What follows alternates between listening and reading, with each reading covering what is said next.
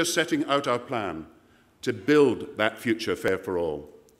First, we must secure the recovery, not put it at risk. Second, we must support new industries and future jobs. Third, as we reduce the deficit and reduce it by half, we must protect and not cut frontline services. And fourth, we must stand up for the many, not the few. A future fair for all, Gordon Brown's prediction for another term of Labour. But as Prime Minister, he's more likely to be judged on the past rather than the future. After a decade in the shadow of Tony Blair, Brown was greeted by a baptism of fire. Britain under attack, then floods and foot and mouth, he dealt with it well. Election fever hit the corridors of Westminster.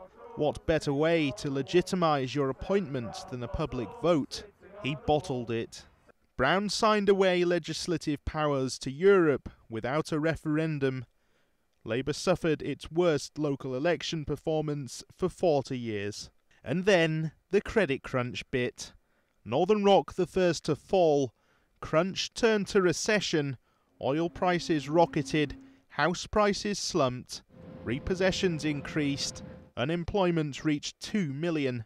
Quantitative easing was introduced by Brown, print more money, and hope it kick-starts the economy. He suffered a major revolt over plans to part privatise the Royal Mail. It led to strikes. The Damian McBride affair was damaging.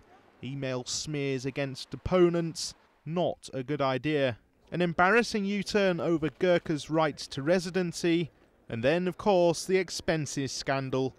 Slammed for introducing parliamentary reforms not in the House, but on YouTube. Spelling a dead British soldier's name wrong in a condolence note and then not sending one for two years to another family, he was forced to apologise for both. He was then accused of being the office bully, something he vigorously denied. Finally, at the Iraq inquiry, he claimed the military was never denied funding for equipment under his chancellorship and that it rose year on year. Just weeks later, he had to apologise to Sir John Chilcot and the House for misleading them over that so called fact. And this is why Brown's messages for the election need to lie in the future and not the past. Some of his key policies include giving a £140 tax cut to 22 million basic rate taxpayers, legally binding guarantees for all patients, including free personal care for the elderly who most need it, making every secondary school a specialist trust or academy, ensuring that troops receive state of the art medical care when they're injured, and protecting police numbers making them spend at least 80% of their time on the beat. His wife Sarah has stood by him through thick and thin.